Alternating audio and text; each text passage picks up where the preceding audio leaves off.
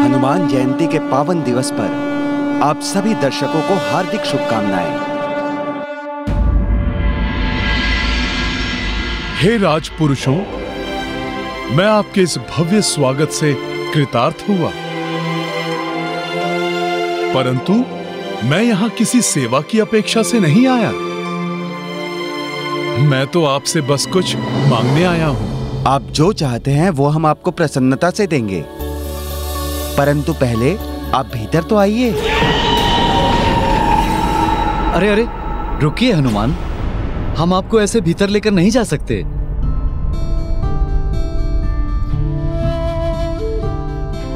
आप तो हमारे लिए ईश्वर के समान हैं इसलिए पहले हम श्रद्धा पूर्वक आपके चरण धोएँगे। आप लोग कृपया ऐसा ना करें। मैं तो मात्र एक साधारण वानर हूँ। हे कपीश्वर आपके चरणों में तो परम प्रताप है। जिन चरणों ने स्वर्ण लंका को ध्वस्त कर दिया वो हमारे इस तुच्छ राज्य में प्रविष्ट हुए हैं। विशाल काय पर्वत चकनाचूर हो गए आपके चरणों तले। हमारा तो अत्यंत साधारण सा राज्य है। तीनों लोग काँप उठते हैं आपके चरणों की आहट से।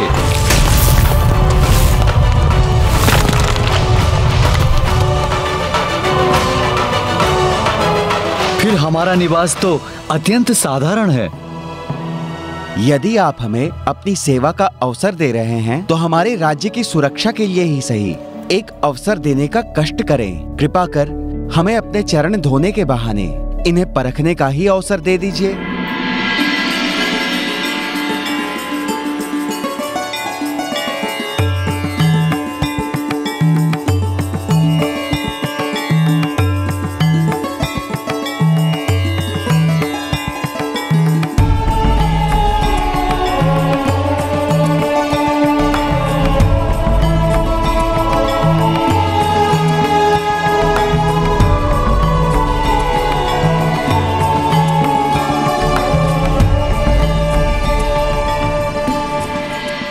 दोनों राजपुरुषों को शत शत धन्यवाद। परंतु मैं राम काज पूर्ण किए बिना ये भोजन ग्रहण नहीं कर सकता। और इस कार्य में आप दोनों ही मेरी सहायता कर सकते हैं। आप अपना अश्व मुझे दान कर दीजिए, जिसे मैं सही समय पर अयोध्या पहुँचा सकूँ।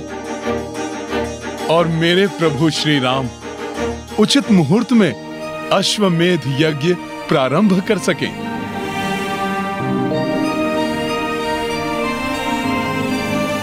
भैया कुशल हमारा अश्व चुना गया है। प्रभु श्री राम के अश्वमेध यज्ञ के लिए। अब इसके परिणाम स्वरूप हमारे नारायणपुर में सब कुशल मंगल ही होगा। हे राम भक्त हम दोनों भ्राता अपने अश्व को देने के पूर्व एक बार उसे भोजन कराकर विदा करना चाहते हैं। यदि आप हमें इतना समय दें तो हम कृतार्थ रहेंगे।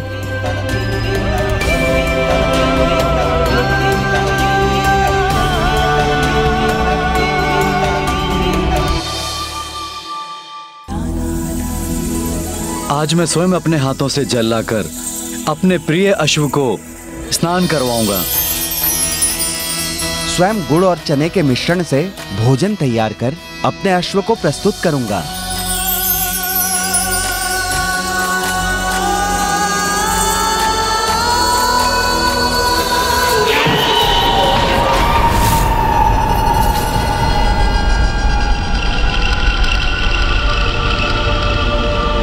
भ्राता, ये हम क्या कर रहे हैं? ये हम क्या कर रहे हैं? ये हमें नहीं करना चाहिए।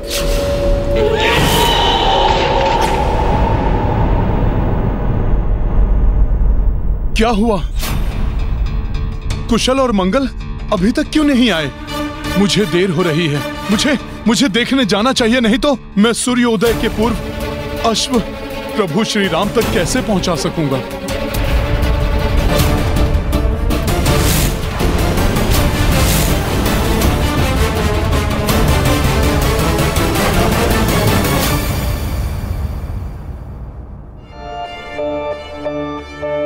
यदि उन दोनों भ्राताओं को हनुमान के प्रति अटूट श्रद्धा है तो अब तक हनुमान को अश्व के साथ लौट आना चाहिए था। गुरुदेव आप निश्चिंत रहिए। हनुमान अवश्य ही शीघ्र लौट आएँगे।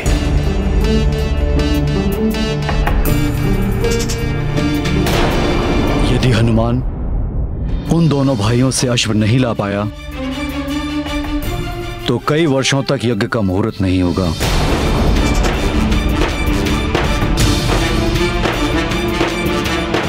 और हम ये शुभ अवसर खो बैठेंगे।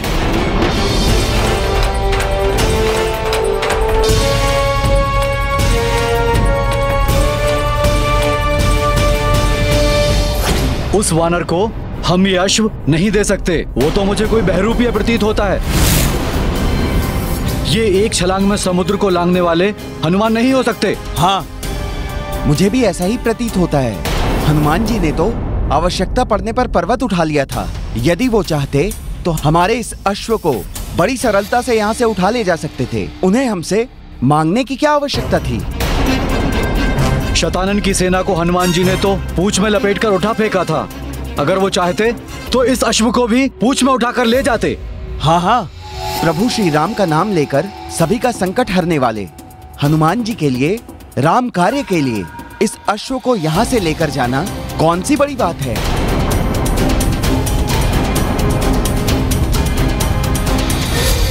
प्रभु विष्णु के भक्तों के साथ मैं भला ऐसा कैसे कर सकता था? ये तो मात्र मैं उन राक्षसों के साथ ही ऐसा कर सकता हूँ, जो अधर्म के मार्ग पर चलते हैं।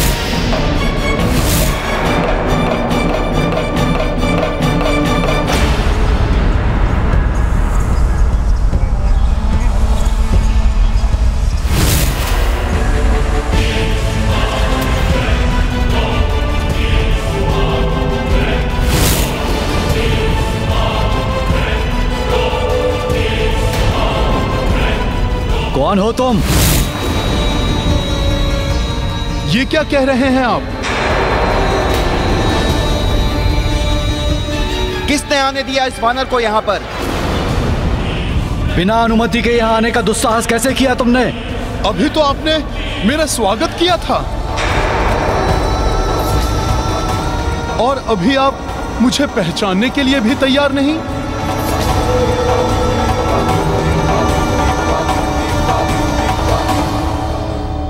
सैनिकों पकड़ो इसे और बाहर निकालो इस बहरूपिये को।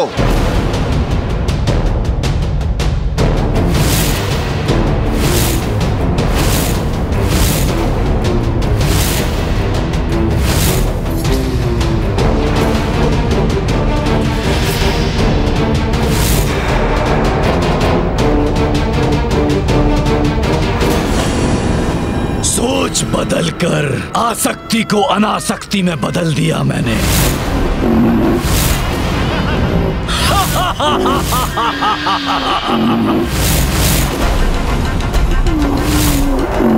बहुत चतुर है ये वानर। बहुत चतुर। अभी भी अश्व को ले जाने में सफलता प्राप्त कर हमारी योजना को पूर्ण रूप से ध्वस्त कर सकता है। इसलिए प्रथम अवसर पाते ही उस अश्व के जीवन का अंत कर दो। ना रहेगा बाँस और ना बजेगी बांसुरी। अकस्मात ही इनके विचार कैसे परिवर्तित हो गए? हम्म अवश्य ही ये निकुंभ ने किया है। महाराज कुशल महाराज मंगल ये आपको भी ज्ञात है कि मैं हनुमान ही हूँ। राक्षस निकुंभ के प्रभाव में आकर आप दोनों मुझ पर अविश्वास कर रहे हैं। बस बस! बंद करो अपनी ये मनगढ़ंत बातें। अब और हम नहीं आने वाले तुम्हारी इन बातों में। ये बातें मन गढ़ंत नहीं हैं। निकुंभ अपनी मायावी शक्ति से किसी के भी विचारों को प्रभावित कर सकता है। यही है उसकी नवीन रणनीति। उसी ने आप दोनों के मन में मेरे प्रति अविश्वास जागृत किया है। बस! बस! मुझे तुम पर तनिक भी विश्वास नहीं है। दूर हो जाओ मेरी दृष्टि से। सैनिकों बाहर निकाल दो इस बानर को। जो आ गया महाराज।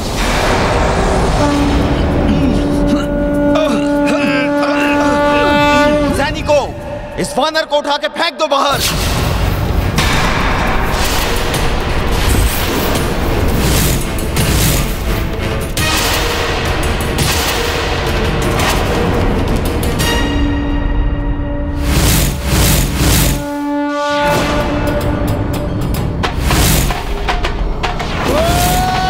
परंतु न्याय और धर्म के अनुसार ही लाना होगा।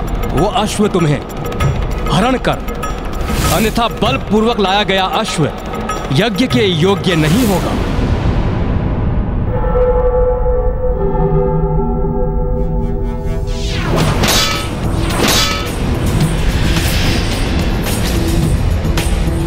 मेरा विश्वास कीजिए मैं यहाँ युद्ध करने के लिए कदापि नहीं आया हूँ। मैं कुछ नहीं सुनना चाहता। सैनिकों निकाल दो इस वानर को बाहर। मैं सत्य कह रहा हूँ। मैं प्रभु श्री राम का सेवक हनुमान ही हूँ। प्रभु के अश्वमेध यज्ञ के लिए आपका अश्व लेने आया हूँ। इसलिए मैं ना तो युद्ध के लिए अस्त्र उठाऊँगा और ना ही बल प्रयोग करूँगा।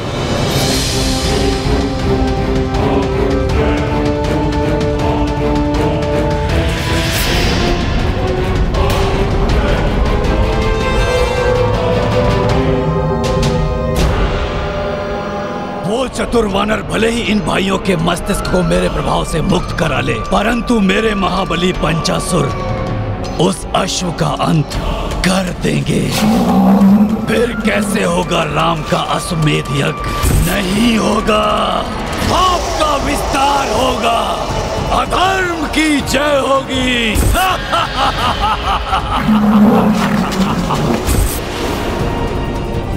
बहुत सुंदर हो तुम अश्व। किंतु तुम्हारा अंत करना आवश्यक है।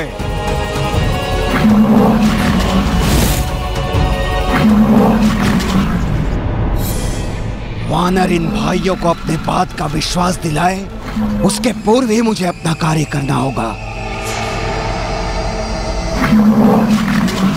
हनुमान का वेश बनाकर हमें छलने आए हो?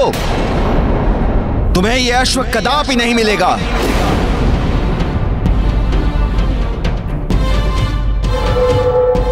तुम्हें यहाँ से बाहर निकालने के लिए मुझे नारायणपुर की संपूर्ण सेना का बल प्रयोग भी करना पड़े तो भी करूँगा।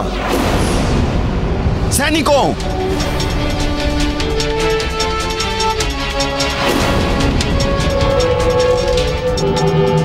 मैं अनायास ही दिव्य शक्तियों का प्रदर्शन नहीं करना चाहता था। किंतु प्रभु का कार्य पूर्ण करने के लिए आपको विश्वास दिलाना आवश्यक है कि मैं ही हनुमान हूँ।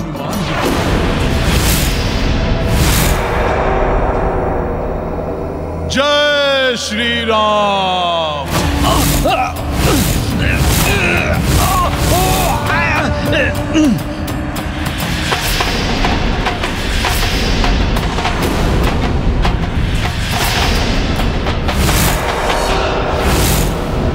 ये वानर हमें माया से भयभीत करना चाहता है। सैनिकों आक्रमण करो इस वानर पर। मैं आपको भयभीत नहीं कर रहा हूँ। मैं तो आपको विश्वास दिलाने के लिए ऐसा कर रहा हूँ कि मैं वही हनुमान हूँ जो अपना आकार बढ़ाकर संजीवनी के लिए पर्वत उठाकर लाया इसने तो हनुमान की भांति पर्वत ही उठा लिया।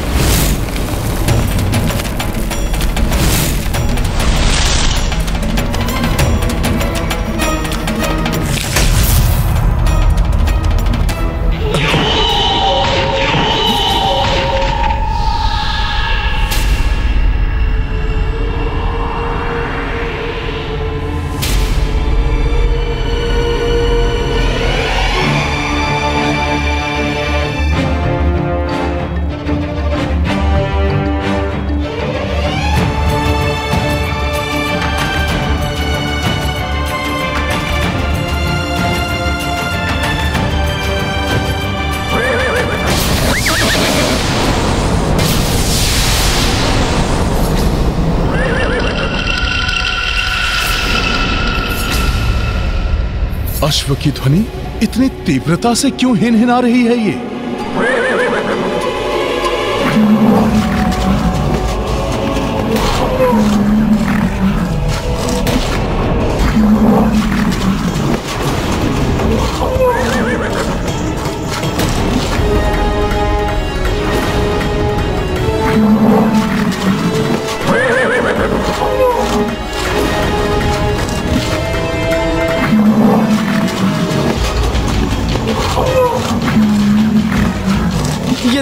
ये दानव कहाँ से आ गया?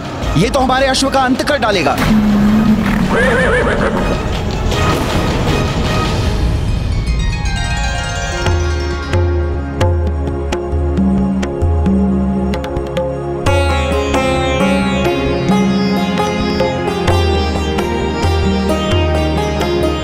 अश्व को वहाँ स्नान कराना है। इसीलिए पवित्र जल को वहीं एकत्रित करो। स्वामी, ये आपका प्रथम अश्वमेघ यज्ञ है। हमारे कुल देवता सूर्यदेव की कृपा से आप भी अश्वमेघ यज्ञ संपन्न करने वाले राजाओं में से एक हो जाएँगे। आपकी कीर्ति, आपके पूर्वजों की ही भांति दिग दिगंत तक प्रसारित हो जाएगी। राम राज्य की स्थापना होगी। किंतु ये तो तभी संभव होगा भाभी माँ। जब हनुमान मुहूर्त रहते, अश्व को लेकर यहाँ पहुँच जाए।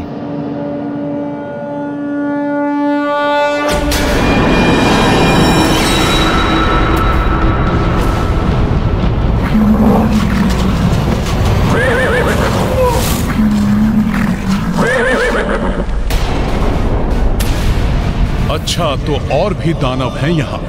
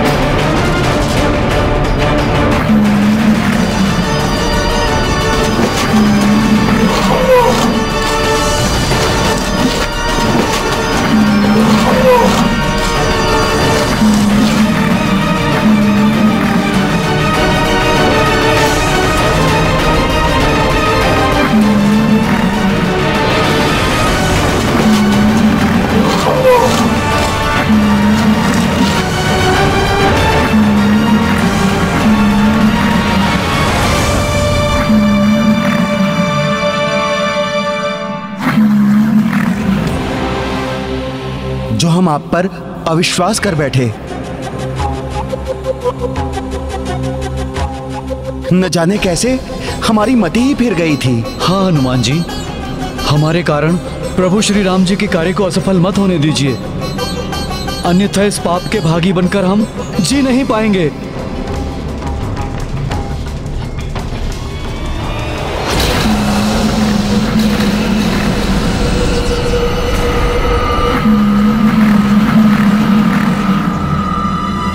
सूर्योदय होने को है। मुहूर्त के लिए अधिक समय शेष नहीं है अब। मुझे शीघ्र ही इन असुरों को समाप्त करके अश्व को समय रहते अयोध्या पहुंचाना होगा।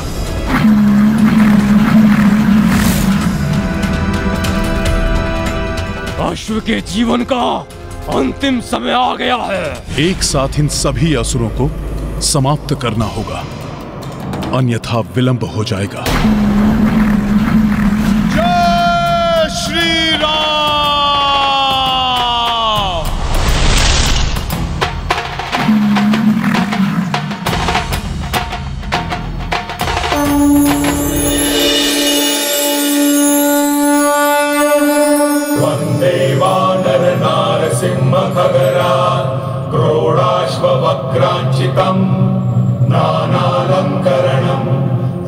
त्रिपञ्चनयनम् दैदिप्यमानम् ऋचा।